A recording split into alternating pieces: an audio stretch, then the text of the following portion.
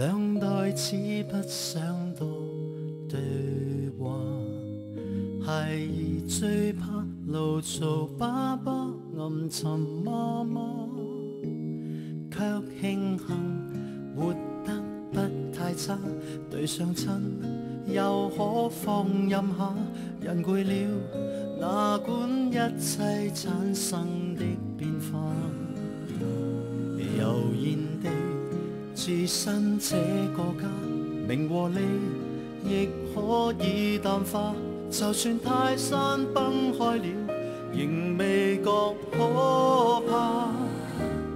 每天爸爸妈妈在家总会念挂，时时和孩儿诉说真与假。记住记住，记住。